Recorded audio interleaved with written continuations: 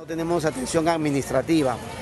Nosotros hemos recaudado entre el 16 de marzo, día que se empezó a hacer efectiva esta disposición, hasta el día de ayer, 1.640 soles.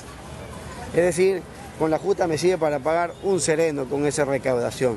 Nosotros vamos a lograr garantizar, gracias a algunos esfuerzos que podemos hacer en la Municipalidad de San Martín, poder cumplir con pagar la planilla y algunos servicios elementales, como es la basura, como es el combustible, para que opere toda nuestra maquinaria pero... ¿Qué le pediría en todo caso al gobierno central? estamos pidiendo al gobierno central, lo hemos pedido a través de AMPE, lo estamos pidiendo individualmente como alcaldes, una subvención económica, damos un apoyo económico porque las municipalidades vivimos de la recaudación y si hoy día no tenemos un apoyo económico no vamos a poder garantizar la continuidad de los servicios esenciales que brinda la municipalidad.